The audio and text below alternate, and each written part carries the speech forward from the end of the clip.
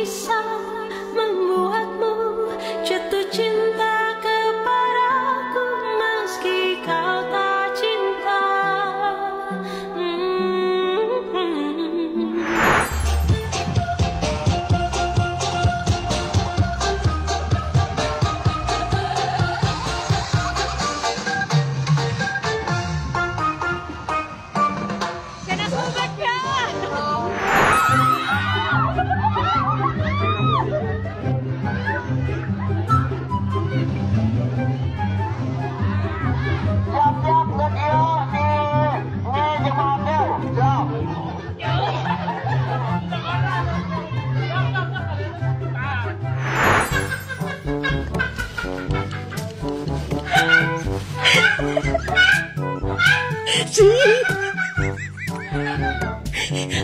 cinta apa cinta benci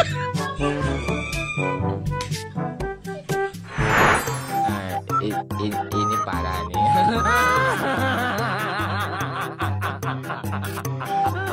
tenang tenang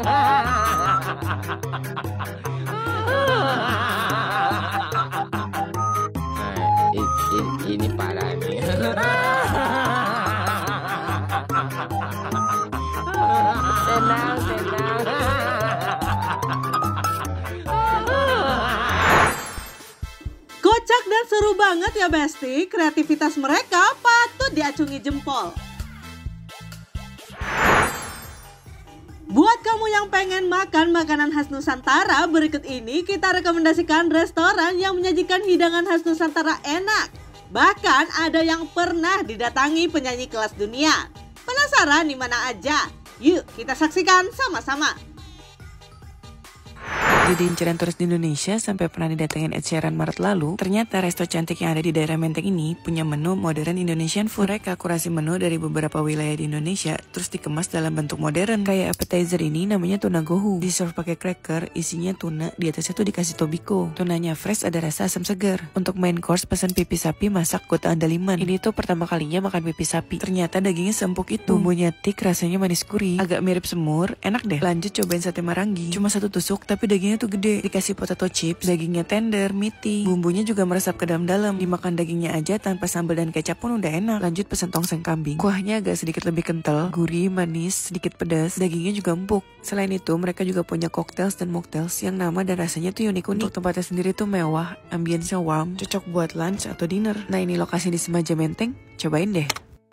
Udah sering cobain makanan luar negeri, tapi asli deh nggak ada yang bisa ngalahin makanan Indonesia. Kalian pasti ngerti deh, kenyangnya tuh beda gitu, lebih puas. Nah ini salah satu tempat yang bisa lo kunjungin buat bawa keluarga juga aman banget sih. Ini luas dan lengkap juga ada musolanya. Isinya tuh full makanan Indo. Ini yang pertama ada nasi liwet yang super wangi dan terinya banyak. Ayam bakar ini juga gue rekomen banget. Bumbunya nggak cuma di kulit doang, dan ini di pairing pakai sambal dan nasi liwetnya. Enak banget. Terus ada karedok. Gue nggak pernah makan karedok pakai nasi, tapi ternyata cocok banget gue sampai nambah berkali-kali. Kalau lo suka tahu goreng, fix banget bakal suka sama ini. Dia tuh lembut banget kayak tahu susu. Terus dicocol di sambal kecapnya. Di sini specialty-nya tuh emang ikan dan gue pesen yang pakai bumbu PS Mall. Itu kayak bumbu kuning gitu. Dan si ikannya tuh digoreng dulu baru dimasak bareng sama bumbunya. Jadi kulitnya masih garing dan ikannya nggak amis. Kalau lo mau cobain rasa PS Mall yang proper, kayaknya ini lumayan menggambarkan sih. Ada dessert es Cianjur juga. Pakai susu sama santan jadi rasanya manis gurih. Kalau yang sering lewat Cipete pasti tahu. Namanya ikan bakar Cianjur di Jalan Cipete Raya. Selamat makan guys.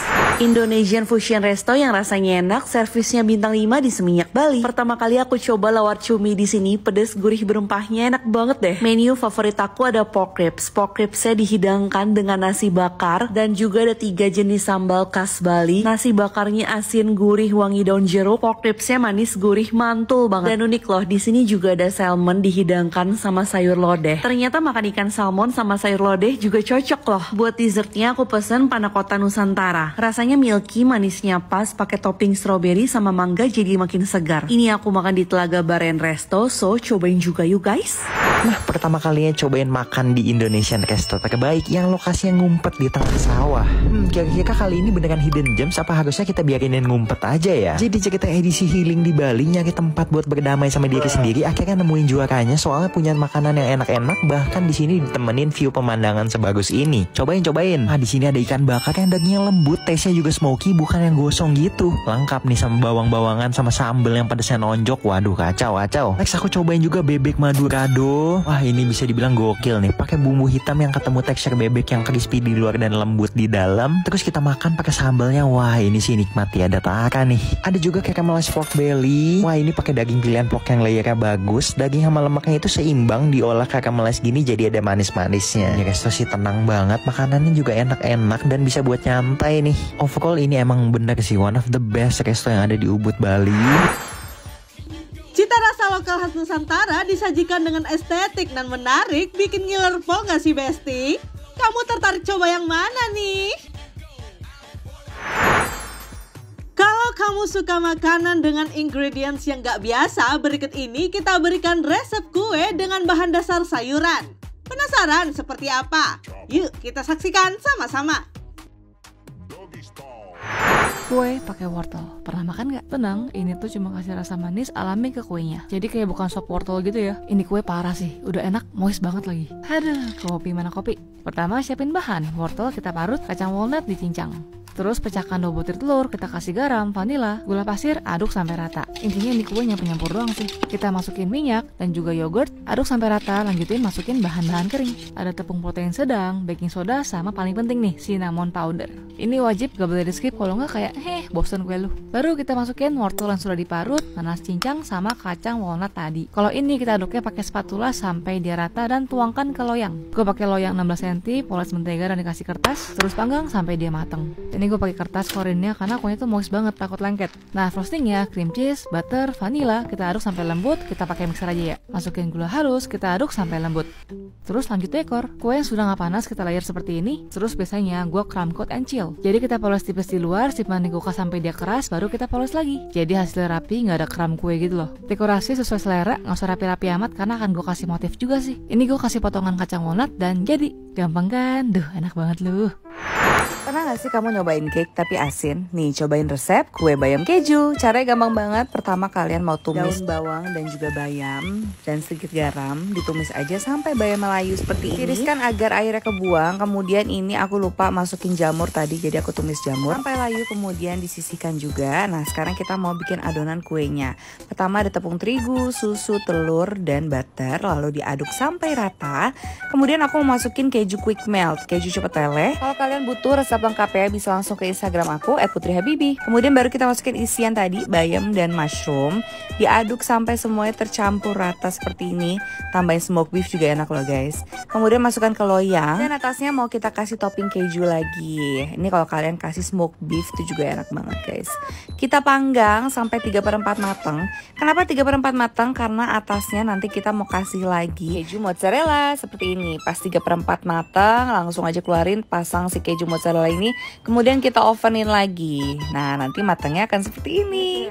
Cantik banget ya. Buat kalian yang nggak ada oven kalian juga bisa kukus kue ini ya. Tuh kita potong langsung aja lihat tekstur dalamnya Hmm, ini enak banget. Rasanya mirip-mirip quiche, tapi ini kayaknya lebih simple ya cara bikinnya. Tuh seperti ini, lihat pas dipotong. Hmm, tentunya kalian bisa banget masukin sayur-sayuran lain yang kalian suka ataupun daging-dagingan. Kalau lagi ada banyak stok sayur di kulkas, terus bingung mau dijadiin apa, coba bikin Korean vegetable pancake yang satu ini deh atau namanya yachajon. Ini tuh rasanya crispy, enak banget, gampang bikinnya. Ini aku bakal siapin bawang bombay, terus kol diiris tipis-tipis, dan juga aku bakal siapin wortel yang bakal dipotong kayak korek api gitu. Nah, aku juga bakal siapin cabai yang diiris tipis-tipis. Ini karena aku suka pedas, tapi kalau pada nggak suka di skip aja. Dan aku juga bakal siapin daun bawang bagian putih diiris panjang-panjang dan juga daun bawang bagian hijau diiris panjang-panjang biar warnanya cantik. Bumbuin pakai lada hitam dan juga garam, terus diaduk-aduk dan adonannya itu aku bakal pakai setengah cup tepung terigu dan setengah cup tepung tapioka dan satu cup air dingin. Nah, ini bakal diaduk-aduk aja dan kalau udah combine semuanya, kita bakal goreng di minyak panas. Ini aku pakai teflon atau yang panci anti lengket. Ratain adonannya, terus tunggu sampai bagian bawahnya itu udah crispy, baru kita balik. Nah, kalau dibalik, tuang minyak di sekitaran pancake-nya itu. Terus make sure semua bagian pancake itu kena minyaknya ya. Goreng kedua sisi sampai kening kecoklatan dan kalau udah, ini hasilnya. Next kita bikin dipping sauce-nya, ini pakai kecap asin, cuka beras, wijen sangrai, dan juga daun bawang. Dan jadi deh, selamat mencoba! Wah, bisa dicoba juga nih Besti. Cocok banget buat kamu yang ingin ngemil sehat dan juga enak. Masih banyak keseruan lainnya yang akan Viral Today tampilkan. Untuk itu, jangan ke mana-mana, kami akan kembali setelah yang satu ini.